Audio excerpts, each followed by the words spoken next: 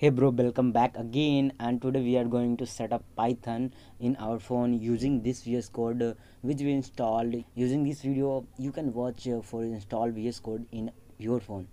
So just uh, start it. So open your termux and update and upgrade packages. Now install the python package uh, for run the python in your vs code. After installing you have to start vs code or code server. And i'm going to start code server after starting code server here you have to go on uh, extension section and uh, here we will install a uh, extension which is interpreter which is python interpreter. Python interpreter will help us uh, to write the code and run the code. Okay so install it. After installing you can create new file and uh, write some code and you can run this uh, in your VS Code for run this file you can click on this runner button and here you will see your output